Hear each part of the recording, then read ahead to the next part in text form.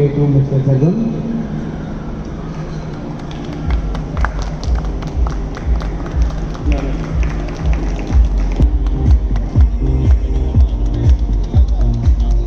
I request all the dignitaries to come down.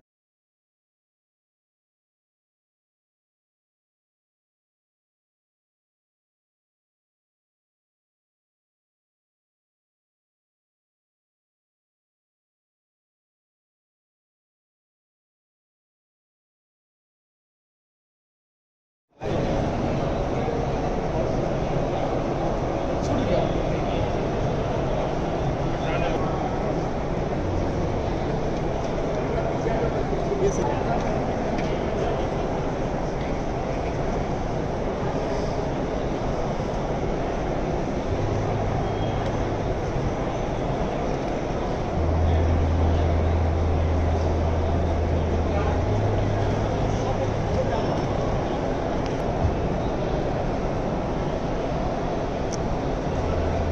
ये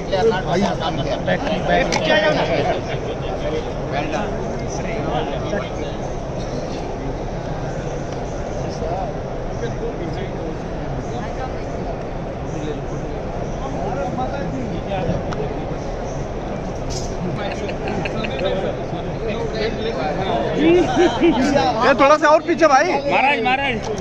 yes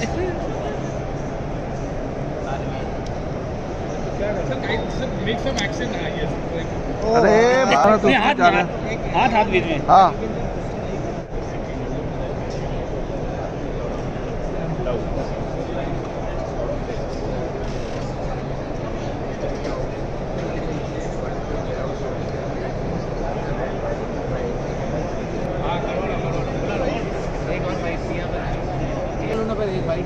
हाँ चलो ठीक। हम लोग एसोसिएशन के साथ ये एग्जीबिशन जो टेंथ एग्जीबिशन है ये कर रहे हैं यहाँ पे।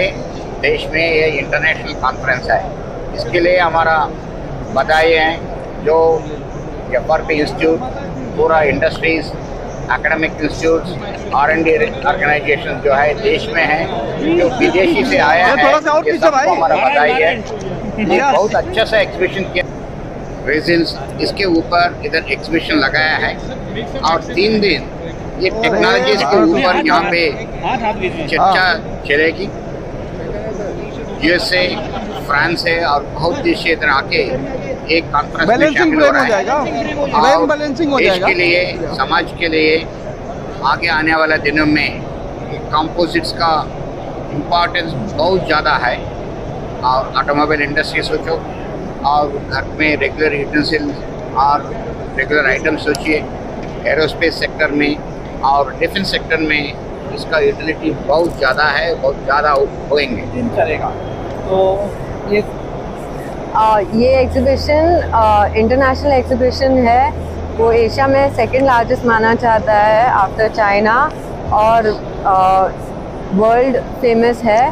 ये एग्जीबिशन कॉम्पोजिट के लिए है। Composites are fibre reinforce plastics और कार्बन फाइबर प्रोडक्ट्स जो यूज़ होते हैं defence aerospace building construction automotive marine इनकी खास खूबी है लाइट वेटिंग ये ऑल्टरनेट मटेरियल होते हैं ऑल्टरनेट टू स्टील मानो या कंक्रीट या फिर वुड पर इस अ, ये नॉन करोसिव है इसलिए उसको मेटल से प्रेफर करते हैं और उसका लाइट वेटिंग की वजह से ट्रांसपोर्टेशन कॉस्ट सब बचता है इसलिए they are the materials of choice लेकिन अभी तक ये इंडस्ट्री बहुत ही नया है बहुत बड़ा ग्रोथ होने वाला है ये इंडस्ट्री में.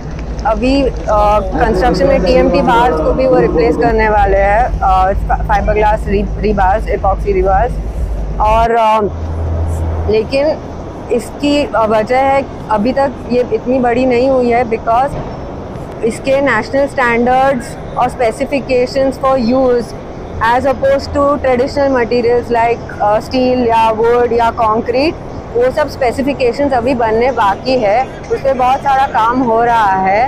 ये एग्जीबिशन में हमारा कॉन्फ्रेंस है एग्जीबिशन है प्रोसेस डेमो है प्रोडक्ट शोकेस डिस्प्ले है ताकि सबको ज़्यादा पता चले ये प्रोडक्ट्स के बारे में इसके लेटेस्ट डेवलपमेंट्स